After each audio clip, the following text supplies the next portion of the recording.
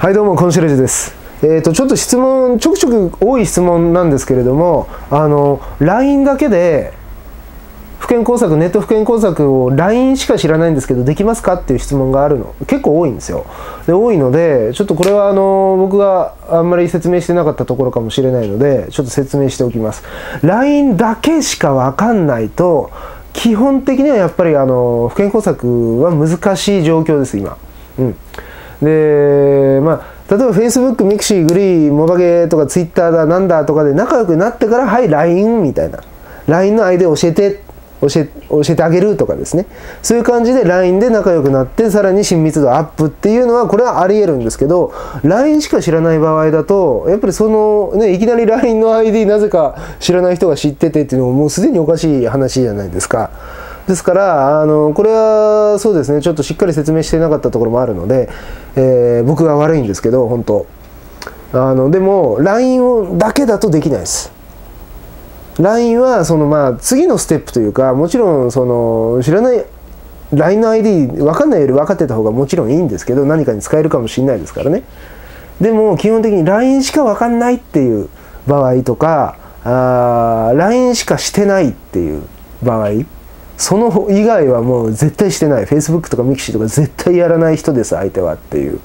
そういう場合はちょっと復権工作自体は難しくなるかもしれないのでえー、っとですねあれですよ。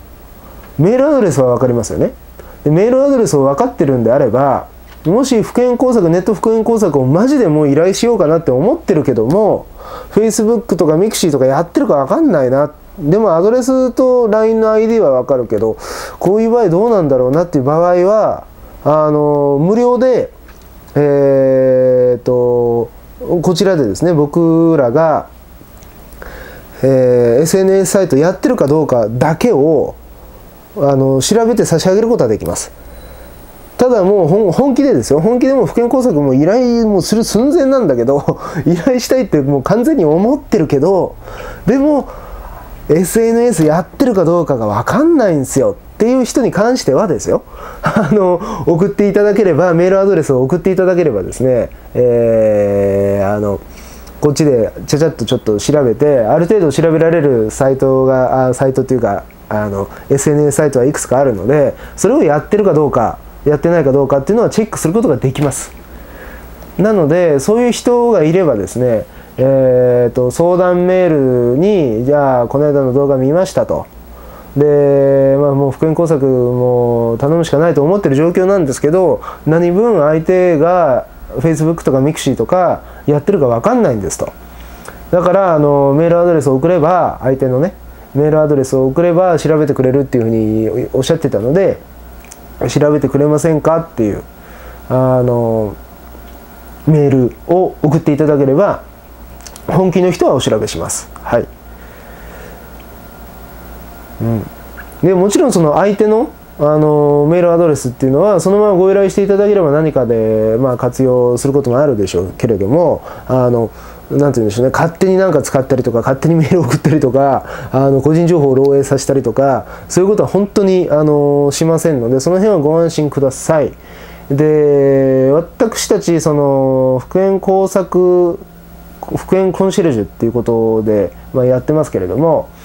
あの警察に届け出出してるんですよ。で大きな意味では探偵業者の範疇に若干入ってくるので、えー、探偵屋さんの届け出っていうのを警察に出さなきゃダメなんです。でえー、っとね僕の事務所は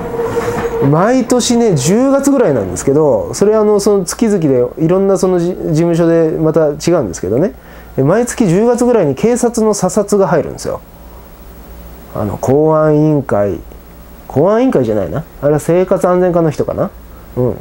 が来てちゃんとその やってますかと、えー、悪いことしてないですかっていうね査察が警察から毎年1回入るんですよ。でそれをしっかりやってますのでで今のところ、まあ、開業してからもそうですね復縁コンシェルジュっていう感じでコンシェルジュ東海っていう感じでやり始めてからは122年ちょいぐらい経ちますけど、まあ、特に問題はないです。3回目の査察がこの間ありましたね、うん、ですので、えー、まあ個人情報を漏洩したりとか、あのー、相手にね依頼者さんの承諾なしに勝手に連絡取ったりとかそういうことはマジでしませんからその辺はご安心ください。はい。っていう感じのお話でした、えー、今回は以上です。コンシェルジュでした。